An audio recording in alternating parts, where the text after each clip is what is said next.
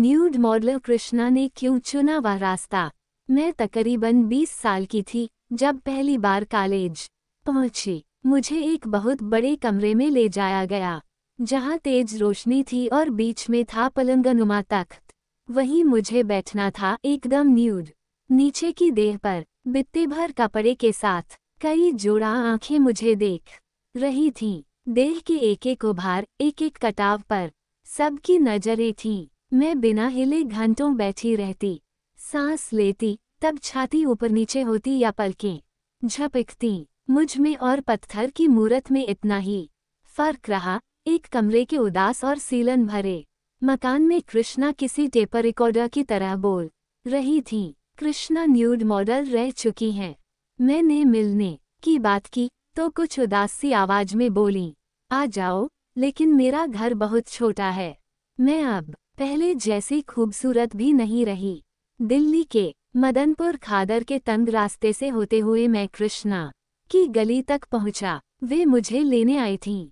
ऊँचा, कद, दुबला पतला शरीर और लंबी लंबी उंगलियाँ। बीच की मांग के साथ कसकर बंधे हुए बाल और आँखों में हल्का सा काजल।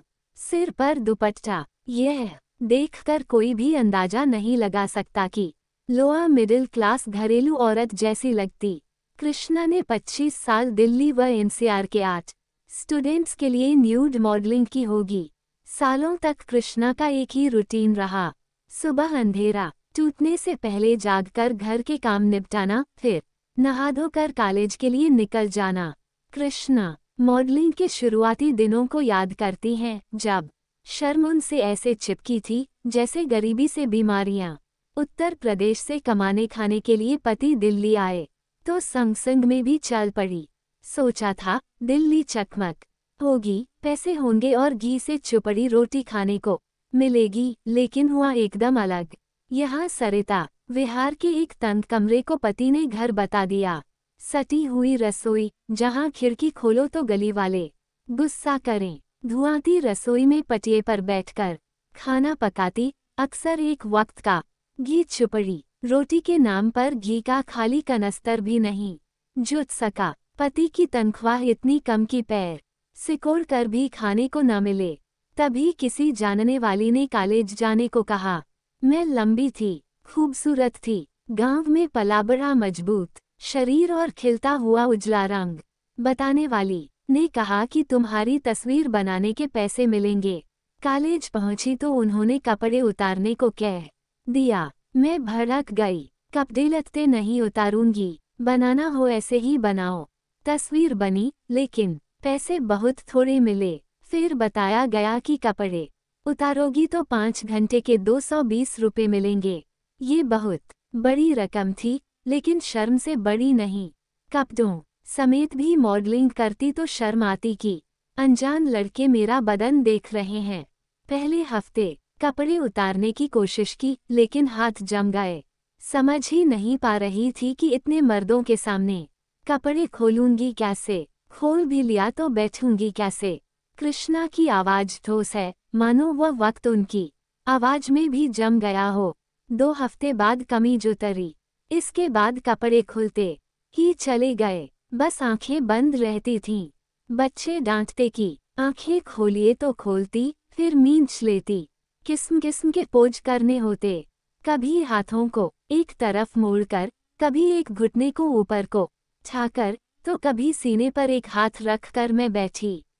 रहती, लंबी बातचीत के बाद कृष्णा कुछ थक जाती हैं। वे बताती हैं, बीते पाँच सालों से डायबिटीज़ ने जकड़ रखा है। वक्त पर रोटी खानी होगी। वे रसोई में खाना पकाते हुए मुझसे बातें कर रही हैं।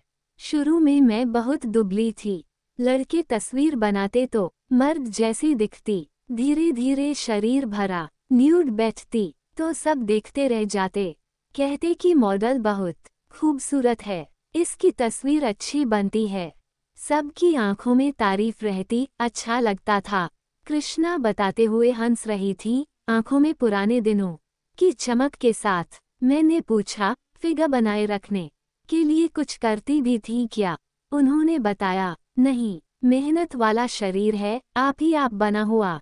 हाँ बीच में तनिक मोटी हो गई थी तो रोज पाक में जाती और दौड़ लगाती, फिर पहले जैसे शेप में आ गई। कृष्णा जब रोटी बना रही थी, तब मैं उन का रसोई घर देख रहा था।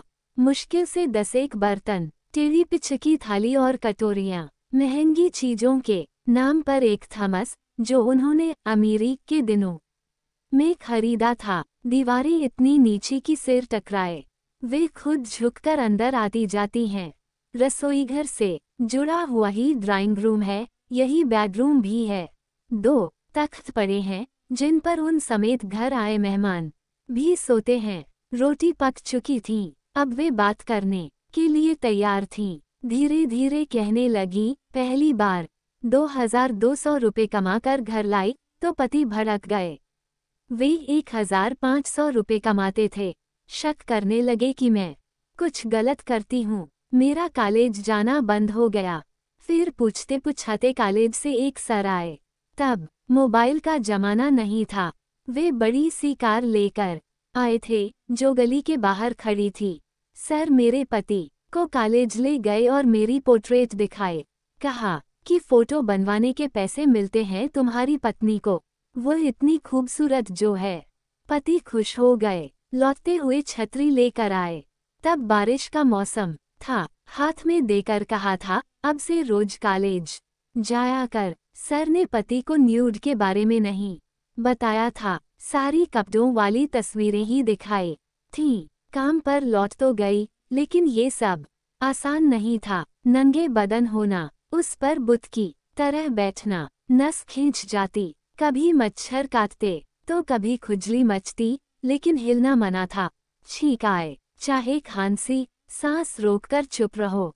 महीना आने पर परेशानी बढ़ जाती, पेट में ऐठन होती, एक जगह बैठने से दाग लगने का डर रहता, लेकिन कोई रास्ता नहीं था। ठंड के दिनों में और भी बुरा हाल होता। मैं बगैर कपड़ों के बैठी रहती और चारों ओर सिर से पैर तक मोटे कपड़े पहने बच्चे। मेरी तस्वीर बनाते होते बीच बीच में चाय कॉफ़ी सुरखते। मेरी कपकपी भी छूट जाए तो गुस्सा करते। पसली दर्द करती थी। एक दिन मैं रो पड़ी, तब जाकर कमरे में हीटर लगा। एक फ़ोटो के लिए दस दिनों तक एक ही पोज में बैठना होता। हाथ पैर सख्त हो जाते, कृष्णा हाथों को छूते। हुए याद करने लगी नीले निशान बन जाते। कहीं कहीं गांठ हो जाती। ब्रेक में बाथरूम जाकर शरीर को ज़ोर ज़ोर से हिलाती, जैसे बुद्ध बने रहने की सारी कसर यही पूरी हो जाएगी। पाँच साल पहले डायबिटीज़ निकली, लेकिन काम करती रही। तारानकन शरीर सुन्न हो जाता। घर लौटती तो बाम लगाती और पूरी पूरी रात रोती। सुबह नहा धोकर फिर निकल जोड़ जाती। गरीबी हमसे क्या क्या करवा गई।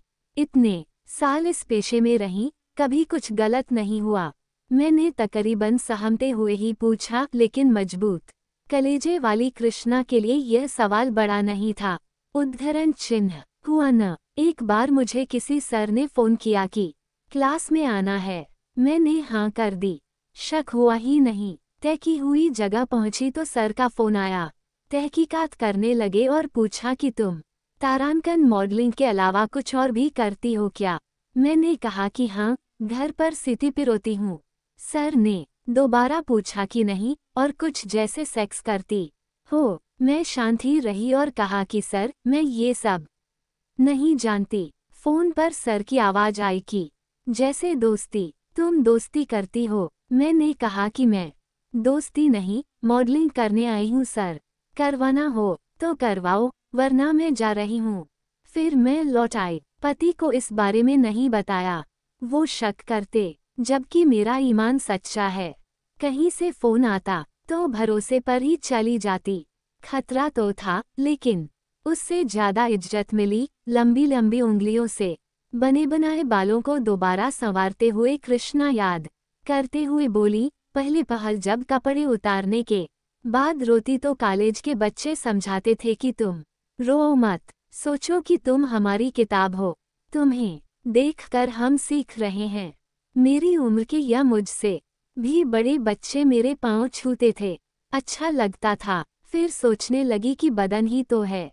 एक दिन मिट्टी ए में मिल जाएगा। अभी बच्चों के काम तो आ रहा है। भले ही काम पढ़ी लिखी हूँ, लेकिन मैं खुद को विद्या समझने लगी। इसी बदन ने कॉलेज जाने का मौका दिया। जो मुझ जैसी के लिए आसान नहीं था। पूरी बातचीत के दौरान कृष्णा स्टूडेंट्स को बच्चे कहती रहीं।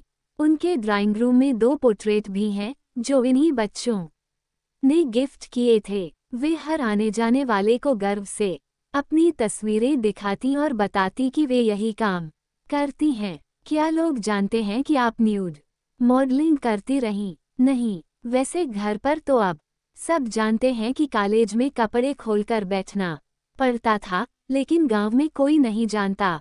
अगर पता लग जाए तो सोचेंगे कि मैं ब्लू फ़िल्म में काम करती हूँ। थू धू करेंगे, बिरादरी से निकाल देंगे, सो अलग।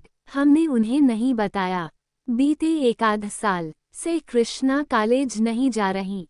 डायबिटीज़ के बाद पत्थर बनकर बैठना मुश्किल हो चुका है। मॉडलिंग के दिनों का उनका काला पस धूल खा रहा है।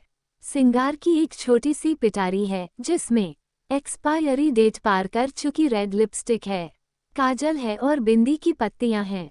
बीते दिनों की हुक उठने पर कृष्णा प्लास्टिक की इस पिटारी को खोलती और आईने में देखते हुए सिंगार करती हैं। संदूक पर रखा ये बॉक्स वे मुझे भी दिखाती हैं। लौटते हुए वे कहती हैं, फ़ोन तो बहुतेरे आते हैं। लेकिन मैं जाऊँ कैसे? डायबिटीज़ है तो बिना हिले। बैठ नहीं सकती। तिस पर गले के ऑपरेशन ने चेहरा बिगाड़ दिया। बदन पर अब मांस भी नहीं। न्यूड बैठती तो बच्चे मुझे सबसे खूबसूरत मॉडल पुकारते। अब मैं वो कृष्णा नहीं रही। बस तस्वीरें ही बाकी हैं। अटूट बंधना प्रकाश ने आखिर कैसी लड़की का हाथ थामा। बारिश थी कि रुकने का नाम ही नहीं ले रही थी। आधे घंटे से लगातार हो रही थी। एक घंटा पहले जब वे दोनों टेस्टोरेंट बारिश थी कि रुकने का नाम ही नहीं ले रही थी, आधे घंटे से लगातार हो रही थी। एक घंटा पहले जब वे दोनों टेस्टोरेंट में आए थे, तब तो मौसम बिल्कुल साफ़ था। फिर ये अचानक बिन मौसम की बरसात कैसी?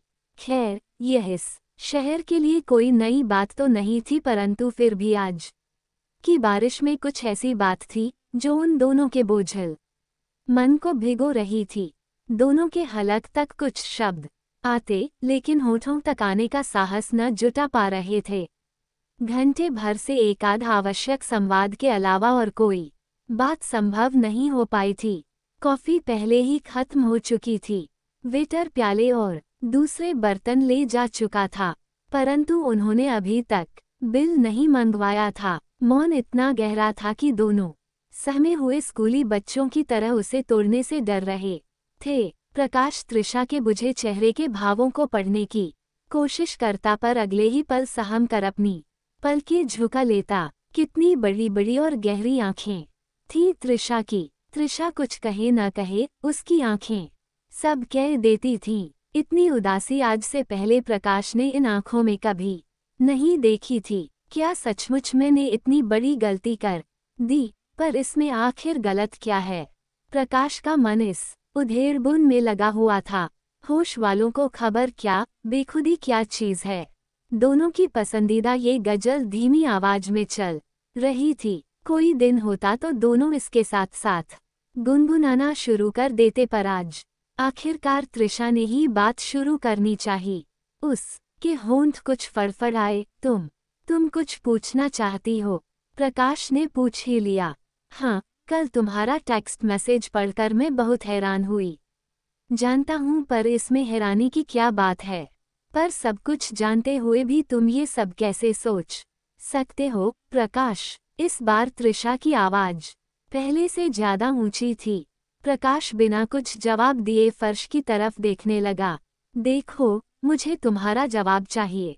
क्या है ये सब? त्रिषा ने उखड़ी हुई आवाज़ से पूछा। जो मैं महसूस करने लगा हूँ और जो मेरे दिल में है, उसे मैंने ज़ाहिर कर दिया और कुछ नहीं। अगर तुम्हें बुरा लगा हो तो मुझे माफ़ कर दो, लेकिन मैंने जो कहा है उस पर गौर करो। प्रकाश रुक रुक कर बोल रहा था, लेकिन वह ये भी जानता था कि त्रिषा अपने फैसले पर अटल रहने वाली लड़की है। पिछले तीन वर्षों से जानता है उसे वह, फिर भी न जाने। कैसे साहस कर बैठा, पर शायद प्रकाश उसका, मन बदल पाए। त्रिशा अचानक खड़ी हो गई। हमें, चलना चाहिए। तुम बिल मंगवा लो। बिल अदा करके प्रकाश ने त्रिशा का हाथ पकड़ा और दोनों बाहर चले आए। बारिश धीमी हो चुकी थी। डॉट, बूंदाबांदी भर हो रही थी। प्रकाश बड़ी सावधानी से त्रिशा को कीचड़ से बचाते हुए गाड़ी तक ले आया। त्रिशा और प्रकाश पिछले तीन वर्ष से बेंगलुरु की एक प्रतिष्ठित मल्टीनेशनल कंपनी में कार्य करते थे। त्रिशा की आँखों की रोशनी बचपन से ही जाती रही थी। अब वो बिल्कुल नहीं देख सकती थी। यही वजह थी कि उसे पढ़ने लिखने व नौकरी हासिल करने में हमेशा बहुत सी चुनौतियों का सामना करना पड़ा था। पर यहाँ प्रकाश और दूसरे कई सहकर्मियों व दोस्तों को पाकर वह खुद को पूरा महसूस करने लगी थी। वह तो भूल ही गई थी कि उसमें कोई कमी है। वैसे भी उसको देखकर कोई यह अनुमान ही नहीं लगा सकता था कि वह देख नहीं सकती। उसका व्यक्तित्व जितना आकर्षक था, स्वभाव भी उतना ही अच्छा था। वह बेहद हंसमुख और मिलनसार लड़की थी। वह मूलतया दिल्ली की रहने वाली थी। बेंगलुरु में वह एक वर्किंग वुमेन हॉस्टल में रह रही थी। प्रकाश अपने दो दोस्तों के साथ शेयरिंग वाले किराए के फ्लैट में रहता था। प्रकाश का फ्लैट त्रिशा के हॉस्टल से आधे किलोमीटर की दूरी पर ही था।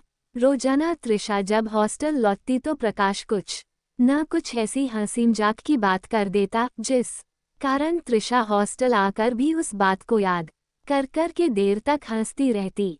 परंतु आज जब प्रकाश उसे हॉस्टल छोड़ने आया तो दोनों में से किसी ने भी कोई बात नहीं की। हॉस्टल आते ही त्रिशा चुपचाप उतर गई। उसका सिर दर्द से फटा जा रहा था। तबीयत कुछ ठीक नहीं मालूम होती थी। डिनर के वक्त उसकी सहेलियों ने महसूस किया कि आज वो कुछ अनमनी सी है। सो, डिनर के बाद उसकी रूममेट और सबसे अच्छी सहेली शालिनी ने पूछा, क्या बात है त्रिशा आज तुम्हें आने में देरी क्यों हो गई? सब ठीक तो है न? हाँ बिल्कुल ठीक है। बस, आज ऑफ़िस में काम। कुछ ज़्यादा था त्रिशा ने जवाब तो दिया पर आज। उसके बात करने में रोज जैसी आत्मीयता नहीं थी। शालिनी को ऐसा लगा जैसे त्रिशा उससे कुछ छिपा रही थी। फिर भी त्रिशा को छेड़ने के लिए गुदगुदाते हुए उसने कहा, अब इतनी भी उदास मत हो। जाओ, उनको याद करके। जानती हूँ भाई, याद। तो आती है, पर अब कुछ ही दिन तो बाकी है न। त्रिशा अपनी आदत के अनुसार मुसकरा उठी। शालिनी को जरा परे धकेलते हुए बोली, जाओ, मैं नहीं करती तुमसे बात। जब देखो एक ही रट, तभी अचानक त्रिशा का मोबाइल बज उठा। उफ, कितनी लंबी उम्र है उनकी। नाम लिया और फ़ोन हाजिर, शालिनी उछल पड़ी। खूब इत्मीनान, से जी हल्का कर लो। मैं तो चली, कहती हुई। शालिनी कमरे से बाहर निकल गई। दरअसल, बात ये थी कि कुछ ही दिनों में त्रिशा का प्रेम विवाह होने वाला था। डा, आज़ाद जिनसे जल्द ही त्रिशा का विवाह होने वाला था, लखनऊ विश्वविद्यालय में दर्शन शास्त्र के सहायक प्राध्यापक थे। त्रिशा और आज़ाद ने दिल्ली के एक स्पेशल स्कूल से साथ साथ ही पढ़ाई पूरी की थी। उसके बाद आज़ाद अपने घर लखनऊ वापस आ गए थे। डॉट वहीं से उन्होंने उच्च शिक्षा हासिल की और फिर अपनी रिसर्च भी पूरी की। रिसर्च पूरी करने के कुछ ही दिनों बाद उन्हें यूनिवर्सिटी में ही जॉब मिल गई। ऐसा लगता था कि त्रिशा और आज़ाद एक दूसरे के लिए ही बने थे। स्कूल में लगातार पनपने वाला लगाव और आकर्षण एक दूसरे से दूर होकर प्यार में कब बदल गया, पता ही नहीं चला। शीघ्र ही दोनों ने विवाह के अटूट बंधन में बंधने का फैसला कर लिया। दोनों के न देख पाने के कारण ज़ाहिर है परिवार वालों को स्वीकृति देने में कुछ समय तो लगा, पर उन दोनों के आत्मविश्वास और निश्चल प्रेम के आगे एक एक कर सबको झुकना ही पड़ा। त्रिशा के बेंगलुरु आने के बाद आज़ाद बहुत खुश थे।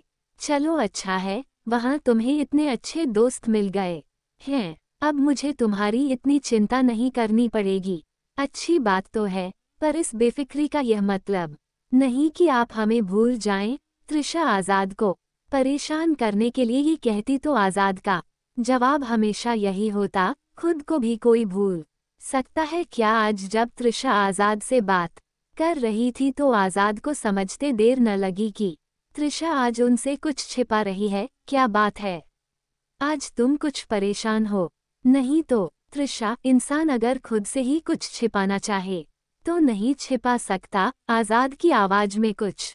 ऐसा था, जिसे सुनकर त्रिशा की आँखें डबडबा आईं। मेरी तबीयत कुछ ठीक नहीं है। मैं आपसे कल बात करती हूँ, ये कहकर त्रिशा ने फ़ोन डिस्कनेक्ट कर दिया। अगले दिन त्रिशा और प्रकाश के बीच ऑफ़िस में भी कोई बात नहीं हुई। ऐसा पहली बार ही हुआ था। प्रकाश का मिजाज आज एकदम उखड़ा उखड़ा था।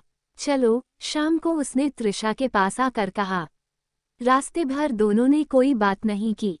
हॉस्टल आने ही वाला था कि त्रिशा ने खींच कर कहा, तुम कुछ बोलोगे भी कि नहीं? मुझे तुम्हारा जवाब चाहिए। कितनी डूबती हुई आवाज़ थी प्रकाश की।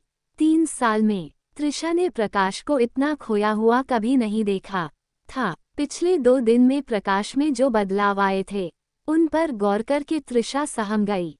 क्या वाकई? प्रकाश। क्या प्रकाश? नहीं, ऐसा नहीं हो सकता। त्रिशा का मन विचलित हो उठा। मुझे तुमसे कल बात करनी है। कल छुट्टी भी है। कल सुबह ग्यारह बजे। मिलते हैं। गुड नाइट कहते हुए त्रिशा गाड़ी से उतर गई।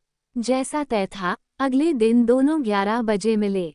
बिना कुछ कहे सुने दोनों के कदम अनायास ही पाक की और बढ़ते चले गए। त्रिशा के हॉस्टल से एक किलोमीटर की दूरी पर ही शहर का सबसे बड़ा व खूबसूरत पार्क था। ऐसे ही छुट्टी के दिनों में न जाने कितनी ही बार वे दोनों यहाँ आ चुके थे। पार्क के भीतरी गेट पर पहुंचकर दोनों को ऐसा लगा जैसे आज असाधारण भीड़ उमड़ पड़ी हो। भीड़ भाड़ और चहल पहल तो हमेशा ही रहती है यहाँ, पर आज की भीड़ में कुछ खास था। सैकड़ों जोड़े एक दूसरे के हाथों में हाथ डाले अंदर चले जा रहे थे। बहुतों के हाथ में गुलाब का फूल, किसी के पास। चॉकलेट तो किसी के हाथ में गिफ्ट पैक। पर प्रकाश, का मन इतना अशांत था कि वह कुछ समझ ही नहीं सका। हवा जोरों से चलने लगी थी। बादलों की गड़गड़ाहट सुन कर ऐसा मालूम होता था कि किसी भी पल बरस पड़ेगे। मौसम की तरह प्रकाश का मन भी आशंकाओं से घिर आया था। त्रिशा को लगा, शायद आज यहाँ नहीं आना चाहिए था। तभी अचानक उसका मोबाइल बज उठा। Happy valentine's day, madam, Azad की आवाज़ थी। ओह, मैं तो बिल्कुल भूल ही गई थी त्रिशा बोली।